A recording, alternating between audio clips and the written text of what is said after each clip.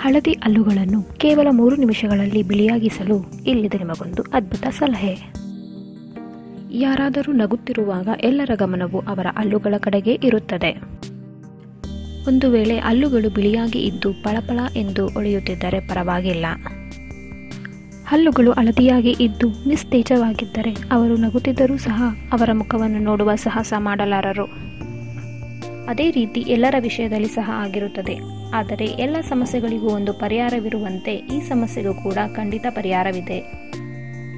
ಈ ಪರಿಹಾರಕ್ಕಾಗಿ ನೀವು ಎಲ್ಲಿಯೂ ಅಲೆಯಬೇಕಾಗಿಲ್ಲ. ನಿಮ್ಮ ಮನೆಯಲ್ಲೇ ಇದ್ದುಕೊಂಡು ಅಡುಗೆ ಮನೆಯಲ್ಲಿ ದೊರೆಯುವ ಪದಾರ್ಥಗಳಿಂದ ಕೇವಲ ಮೂರು ನಿಮಿಷಗಳಲ್ಲಿ ನಿಮ್ಮ ದಂತಗಳನ್ನು ಪಳಪಳ ಎಂದು ಒಳೆಯುವ ಹಾಗೆ ಮಾಡಿಕೊಳ್ಳಬಹುದು.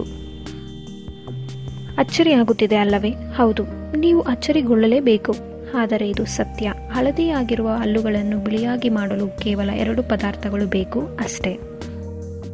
ಅಡುಗೆ ಮಾಡಲು ಉಪಯೋಗಿಸುವ ಬೇಕಿಂಗ್ ಸೋಡಾ ಹಾಗೂ ನಿಂಬೆ ರಸ ಒಂದು ಚಿಕ್ಕ ಬೌಲ್ನಲ್ಲಿ ಒಂದು ಚಮಚ ಬೇಕಿಂಗ್ ಸೋಡಾ ಹಾಕಿ ಅದಕ್ಕೆ ಅರ್ಧ ನಿಂಬೆ ಹಣ್ಣಿನ ರಸ ಬೆರೆಸಿದರೆ ಒಂದು ಮಿಶ್ರಣ ರೆಡಿಯಾಗುತ್ತದೆ. ಆ ಮಿಶ್ರಣವನ್ನು ಬೆರಳುಗಳಿಂದ ಹದ್ದಿಕೊಂಡು ಹಲ್ಲುಗಳನ್ನು ತಿಕ್ಕಬೇಕು. ನೀರಿನಿಂದ ಬಾಯನ್ನು ಮುಕ್ಕಳಿಸಬೇಕು. ಹೀಗೆ ಮಾಡುವುದರಿಂದ ಕೆಲವೇ ಕ್ಷಣಗಳಲ್ಲಿ ಹಲ್ಲುಗಳು ಬಿಳಿಯಾಗುತ್ತವೆ. ಬೆಳ್ಳನೆ ಪಳಪಳ ಹೊಳೆಯುವ ಹಲ್ಲುಗಳು ನಿಮ್ಮದಾಗಲಿ.